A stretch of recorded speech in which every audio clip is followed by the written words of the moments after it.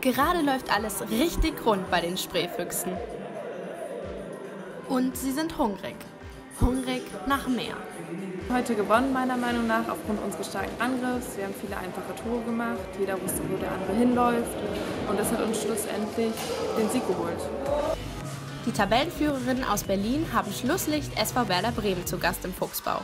Leichtes Spiel für die Füchse daher, die die Partie mit einem sagenhaften Ergebnis von 30 zu 19 gewinnen und somit ihre Führung weiter ausbauen konnten. Die Mannschaft von Susanne Müller in Grün ist immer noch ungeschlagen und das hat einen Grund. Das unfassbar effektive Angriffsspiel der Füchse. Von Beginn an dominieren sie ihre Gegnerin.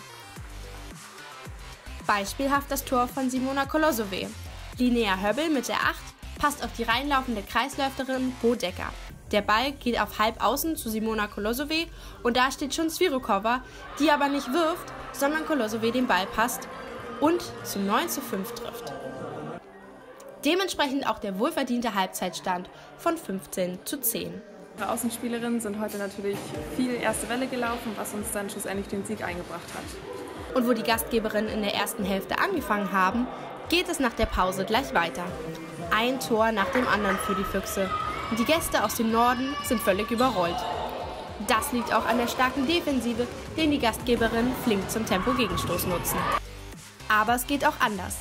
Erst der Spielaufbau, bis Kreisläuferin Anja Wagenlader auf ihre Position läuft und zack, den Ball zum 25 zu 17 versenkt. Das große Ziel ist selbstverständlich der Aufstieg in die erste Bundesliga. Dafür braucht es vor allem eines.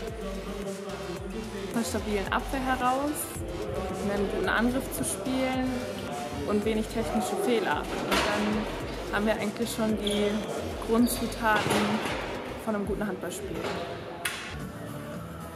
Und natürlich Konstanz. Nichtsdestotrotz ein weiterer Sieg auf dem Konto der Spreefüchse, die bis jetzt nur einen einzigen Punkt abgegeben haben. Beim nächsten Spiel gegen die HSG Freiburg soll es dann natürlich auch wieder rund laufen. Eins ist sicher, die Füchse sind hungrig nach mehr und die Jagd hat gerade erst begonnen.